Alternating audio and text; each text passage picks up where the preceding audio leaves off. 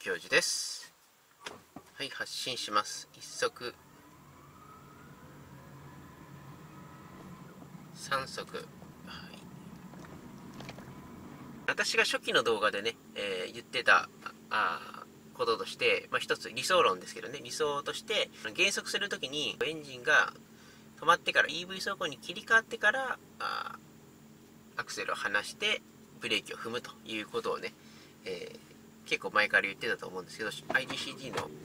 いろいろ詳しいこと言ってる動画初期の動画ではねそういうこと言ってたと思うんですけど、まあ、結構最近はねちょっとそれやんないこともあって何ていうかなあの要は完璧に近い運転をしないでもあの、まあ、90点ぐらいの運転をするようにしてますね。なんで、えっと、前はそうやって、えっと、できるだけね、えー、う最高のポテンシャルを引き出そうっていうのを運転してたんですけれどもそれって結構失敗することもあるわけですよ。なんですけど失敗すると結構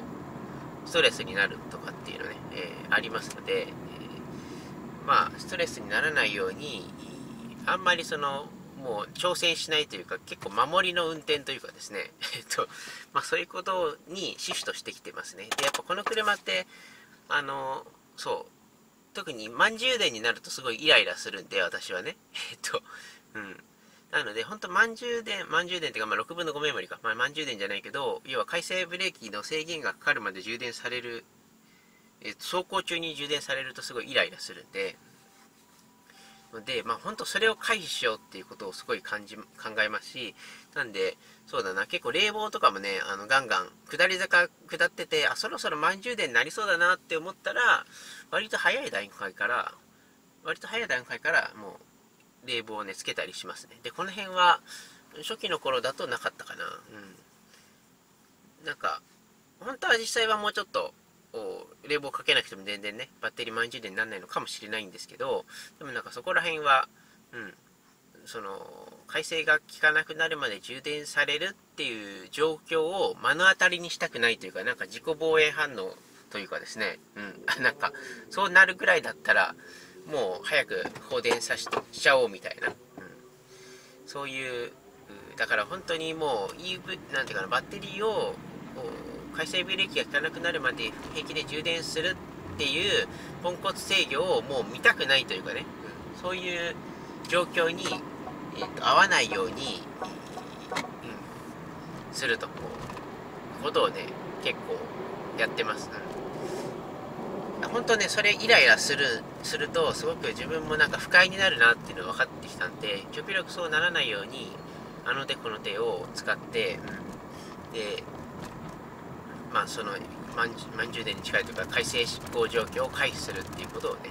あのやってます。でそのそれはだから前だと結構なんていうかなあ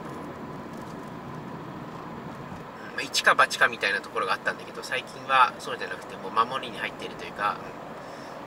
なんかそこら辺は年を取ってしまったのかなっていう感じではありますけど。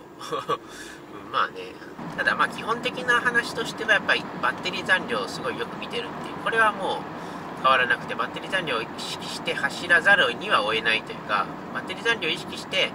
走りたくないって方は本当にこの車向いてないと思いますしまあそこら辺でやっぱりそうですね、煩わしさみたいなのはあるんですけれどもまあ、それを結構楽しめる人は、まあいいんじゃないかなって、私もまあ、あの、そういうのが煩わしいってすごい思うこともありますけれども、まあ比較的ね、えー、比較的、まあ楽しく運転できてることが、まあ多いかな。ので、まあ、この車は、まあまだ乗り換えなくていいかなっていうふうにはね、えー、思ってます。うんまあ、あとはもう本当乗り換えたいって思う車がないので、ことでね、しばらく走ってきて、えー、ちょっと30はまだいかないですけれども、はい、こんな感じです。ということでね、今回の動画は以上です。ご視聴ありがとうございました。